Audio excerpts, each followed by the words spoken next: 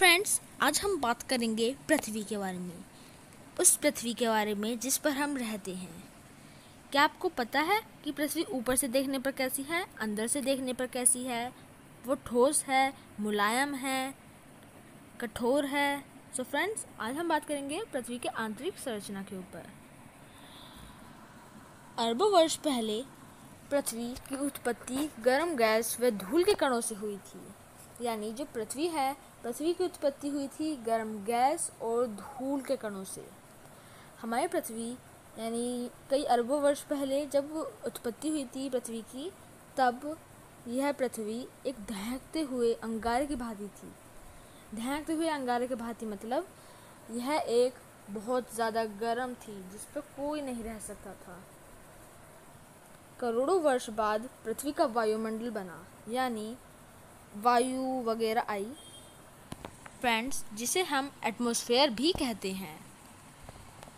फिर घंघोर वर्षा के फलस्वरूप धीरे धीरे पृथ्वी की ऊपर परत ठंडी हुई, जिसे आज हम सोइल कहते हैं। इसका हिंदी में मतलब है मिट्टी। लेकिन फ्रेंड्स पृथ्वी आज भी उतनी ही गर्म है, अंदर से दहकते हुए गोले की तरह। फ्रेंड्स, सोचिए, अगर पृथ्वी ठंडी ना होती तो क्या होता? पृथ्वी का धरातल ऊँचा नीचा है।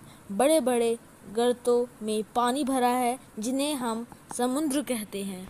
फ्रेंड्स, अब हम बात करते हैं पृथ्वी की आंतरिक संरचना के ऊपर। एक पतली, ठोस परत पृथ्वी को बाहर से घेरे हुए है। एक परत को भू प्रॉपर्टी कहते हैं। भू प्रॉपर्टी की मोटाई विभिन्न स्थानों पर अलग अलग होती है।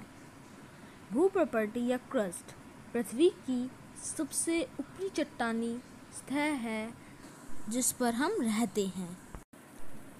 फ्रेंड्स, इस ऊपरी परत की रचना अनेक तत्वों से मिलकर हुई है।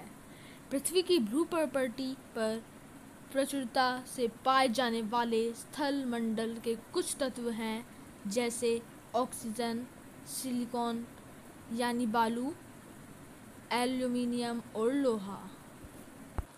फ्रेंड्स, अब हम बात करते हैं पृथ्वी की आंतरिक परतों के बारे में।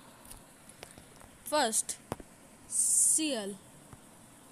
सीएल का अर्थ होता है सिलिका, तथा अल का मतलब होता है एल्यूमिनियम।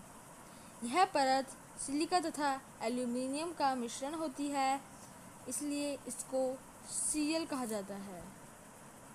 भूपृष्ठ पर महाद्वीपों का निर्माण सिलिका एवं एल्यूमिनियम पदार्थों से ही हुआ है।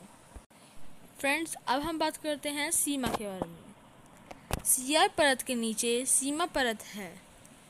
इसमें सिलिका तथा मैग्नीशियम की प्रधानता पाई जाती है, इसलिए इसे सीमा के नाम से जानते हैं। इस परत को निचला मेटल भी कहते हैं। फ्रेंड्स, अब हम बात करते हैं नीफे के बारे में। यह परत पृथ्वी के सबसे नीचे केंद्र में पाई जाती है, जिसे क्रोड नाम से जानते हैं। यह परत मुख्यतः निकेल तथा लोहा जैसी भारी धातुओं से बनी है। इसलिए इसे नीफे नाम से जाना जाता है। उच्च तापमान और भारी दबाव के कारण यह परत गाढ़े व तरल अवस्था में पाई जाती है। इस क्रोड के दो भाग हैं। बाह्य बाह्य क्रोड एवं आंतरिक क्रोड। पृथ्वी की भू प्रॉपर्टी के पदार्थों को शेल या चट्टान कहते हैं। शेल पत्थर की तरह कठोर भी हो सकती है तथा मिट्टी और रेत के समान मुलायम भी हो सकती है। फ्रेंड्स आज का एपिसोड हम यहीं पर एंड करते हैं। अगर आपको यह एपिसोड पसंद आया हो तो इसे लाइक एंड सब्सक्राइब कर दीजिए। और हाँ हम आपको एक और चीज़ बताते हैं। हम फ्रेंड्स नेक्स्ट एपिसोड में वीडियो बनाएँगे शेल के प्रकार के ऊपर। तब तक के लिए have nice day bye bye